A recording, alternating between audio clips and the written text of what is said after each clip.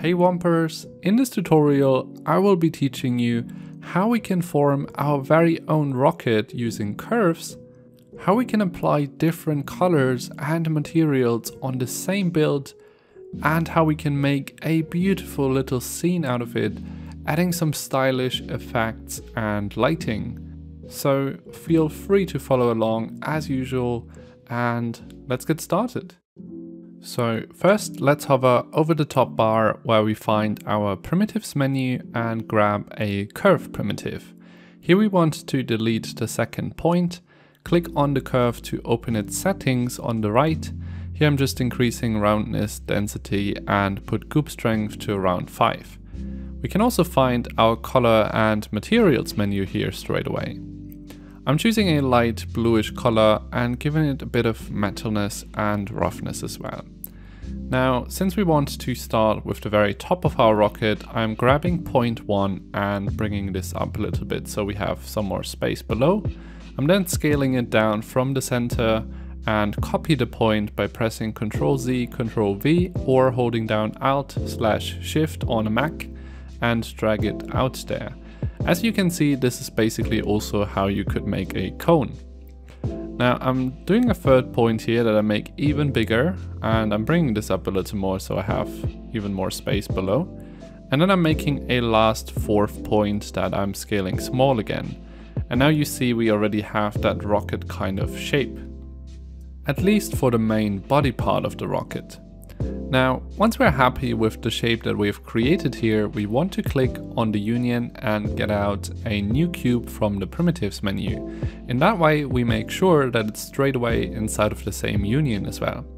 We then want to turn it into a negative in the object's properties menu and make a cut from below. I'm also adding a bit of goop strength to smooth it out. This also adds to the overall style that we're going for. You can also change your color of the negative if you would like to. Now next I'm just copying the same curve that we have here already and dragging it below our negative in the scene list. and that way it won't be affected by it. I'm deleting all points except for our last one and turn the primitive that the curve is based on into a cylinder. Now make sure you have your point selected because then you can also manipulate the shape. For example, we scale the cylinder very thin here and then I'm also rounding it up in the object's properties menu. So now we are building that bottom part of the rocket where the fire is coming out. For that, we obviously already have the same material applied since we made a copy. And then we are making a second point. The second point I'm rounding up completely so it smooths it out and that is looking lovely, but I think we can improve it a little more by just basically copying the same curve that we already have here again, and then we are turning this into a negative. With our negative copy, we want to make sure that we rescale it a bit smaller from the center. In that way, we basically make a cut from the inside, also making it whole. And in that way, we also improve the overall shape of it, which I think looks great now. So once we're happy with our shape, we can close it down in the scene list and call it rocket. We then want to copy this union and click on the material menu on the top bar to create a new one. It is automatically applied since we have it selected in the scene list and I'm going for a fairly saturated blue tone, also giving it some metalness and roughness. Now we see that they are basically within each other right now, the blue one and the white one. And now we basically just want to make one part of it blue and one white. So we go into the blue part and we take our negative cube that we have here, we bring it at the very bottom of the scene list so it affects everything above it and we basically just scale it up until we only have the top part of the rocket that should be blue. Now we just need to go into our white rocket and copy a negative of the cube that we have at the bottom and also bring it at the top so we only have our top part of the rocket that is now blue and we have a very lovely little soft cut between the parts as well which looks great I think. Then next I want to add a window to the rocket and for that I'm grabbing a new cylinder from the primitives menu and I straight away also add our material that we already created for the top part. I'm then rotating it sideways. You can rotate in 45 degrees angles if you hold down shift while rotating. And I'm just bringing it up there and scaling it so it has the right size for how I imagine a window to be in this rocket. Now you see I'm having a bit of struggles to select the right shape and we can actually lock our unions and primitives up. In that way we can't select them anymore while they're locked. Very useful when we want to work on other things that are overlaying it. I've also rounded up the window to around 70 roundness. This really helps to have it a bit more smooth within the other round shape as well. Now I'm copying the same shape that we already have and just scale it a bit smaller from the center. This really is a good way to create some easy detail. And I'm doing this one more time, just scaling it a bit wider and turning it into a negative and making a cut for our window here making this a bit smaller and then also gooping it a little bit from the inside so it smooths it out. I think this looks really nice now. Now I'm just copying our negative again, but turn it back into positive and switch it to a uh, sphere primitive. And now I'm unapplying the material so we don't have the same blue material here, but go for a very dark kind of glassy window that, yeah, what a window would look like. I'm also adding just a little bit of metalness as well because it gives us a nicer reflection that I feel like would be really nice here. And then I'm also just bringing it into the right position. And I think this looks great. Really adds to the rocket. Can imagine someone being in there now. We can then also just turn this together into one union and call it window and also lock it up so we don't select it on accident.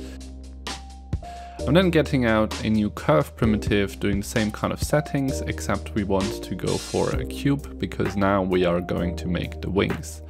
I'm selecting our blue material here as well. We have a nice little color scheme going on between the white and the blue here. And I'm also turning on the mirror on the x-axis because in that way we can easily create two wings that are mirrored to each other. So the cube I'm also completely rounding up and I'm scaling it a lot smaller and thinner. The cube you can actually scale on all axes, um, at least if you have selected the point, just make sure to do that. I'm then copying one more point and I'm rotating this point, scaling it a bit smaller and making a third one. And now that we have those points, you can see how much we can differ the shape just by rotating it. We can really have so much shape control and so much style decision by only just rotating the shapes. I'm also rotating them a little bit inwards and I think that's looking beautiful. Let's bring them down a little bit as well and yeah.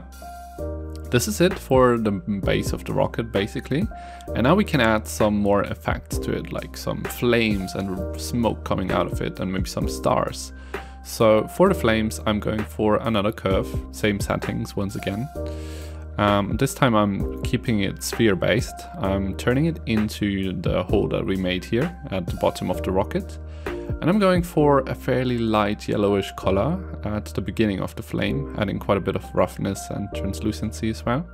Then I'm copying the point here, and the cool thing about curves as well is that we can bring in transitions in the color.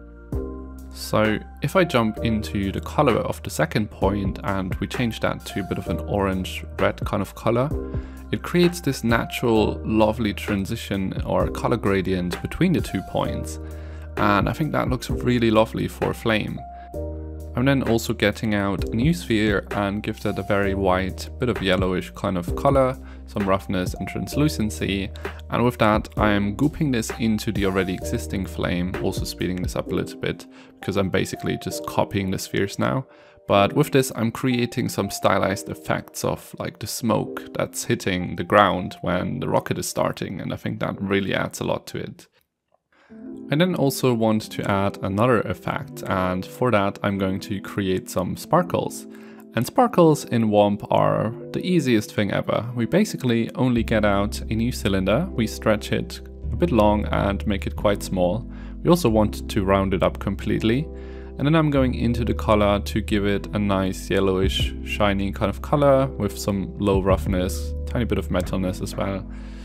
And then we basically just copy this one cylinder that we have here. We rotate it 90 degrees and increase goop strength and voila, we already have a really nice looking sparkle. Very easy trick to do that. Um, then grouping this together and just copy it around, making maybe around three. Um, also scaling them um, smaller a little bit here and there. This kind of gives more of an illusion of um, depth as well. Um, and I think this looks so lovely. So now let's come to the presentation part. Um, we turn off the floor grid. We create a new backdrop from the top bar menu. Here you can of course go for whatever you want, but I feel like with the sparkles and the flame, we need a really nice dark purplish kind of background, which really makes the colors pop and look so good as well. And then I'm just going in and changing the global lighting. This is an image that is basically your skybox, which will change your brightness and how your materials are displayed as well. You can then also play around with the exposure of it, which is the brightness. And then we can add some individual lights and that is really important for this scene specifically I think because we can add a lot to the flame effect. I'm basically using a spherical light here and turn this into a bit of a orangey kind of color. You can of course change color and luminance of the lights as well. And with that, I think um, we reflect a little more about of the flame into the rocket as well. And then I'm also grabbing some more spherical lights to give it an even stronger rim light with a warm color as well. Rim light always looks really nice and makes your creations pop compared to the background as well. So yeah, I'm placing them slightly behind the rocket from the sides and I think that looks really, really nice. So once we're fully happy with how our creation looks and it's ready to be presented, we click on publish at the top right. Here we can choose our thumbnail, this is how it will be displayed on the Discover page. We can select a title, don't forget about that. Um, add some hashtags, people can click on those to find creations under that hashtag, you can share your WOMP, and then also choose your copyright settings if you don't want other people to use your project. And then you just click on publish project and here we are. This is how the render looks like. I think it turned out lovely. I really hope you guys enjoyed this tutorial and that we will see some of your rockets on the Discover page. And with that, thank you so much for watching. I'll see you in the next video.